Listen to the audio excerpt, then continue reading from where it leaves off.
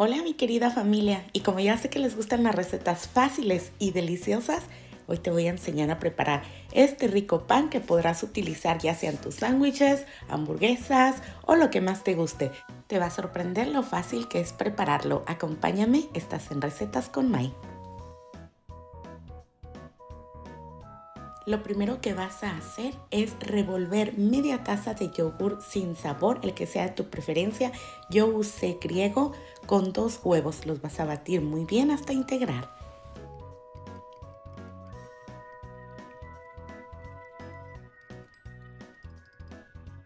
Agrégale una pizca de sal, media taza de harina de linaza y media taza de harina de almendra. Recuerda que en la descripción te dejo los sustitutos.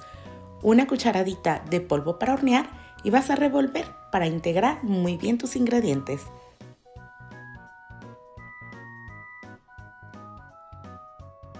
Te muestro, esta es la consistencia que te tiene que quedar, un poco pegajosa.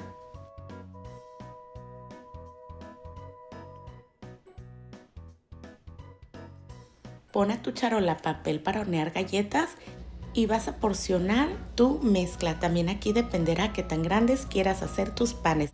A mí me salieron tres de tamaño de hamburguesa. Estos panes los podrás congelar sin ningún problema y al calentarlos te van a quedar igual de suavecitos. Y también recuerda que siempre puedes multiplicar los ingredientes y hacer el doble. Y mira, como ves, es una mezcla que se va a acomodar casi por sí sola. Ya nada más pues los redondeas con la misma espátula o cuchara para que te salgan bonitos. Y si mi receta te está gustando, te voy a invitar que me regales tu like, me apoyes a compartir. Aquí abajito de la pantalla tienen el súper gracias por si gustas apoyar mi contenido. Estaré muy agradecida con todos ustedes. Muchas gracias por sus lindos comentarios.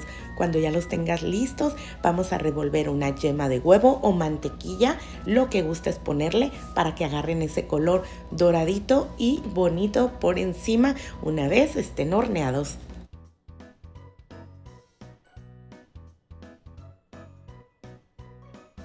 Al gusto puedes colocarle alguna semilla, en mi caso utilicé de ajonjolí. Una vez los tengas listos, los llevarás a tu horno previamente calentado. Hornea los 360 Fahrenheit o 182 centígrados por 25 minutos. Entonces tendrás estos deliciosos, doraditos y ricos panes Solo necesitarás dejarlos enfriar un poco para poder disfrutarlos. De verdad quedan deliciosos. Mira, al siguiente día yo me preparé un sándwich para desayunar con este delicioso café. Nomás te va a quedar decir quién te pegó que no te sobó. Y si mi receta te gustó, no se te olvide dejarme el emoji de un panecito en los comentarios. Dios me los bendiga. Abundancia, prosperidad, salud y mucho amor. Nos vemos en la próxima receta.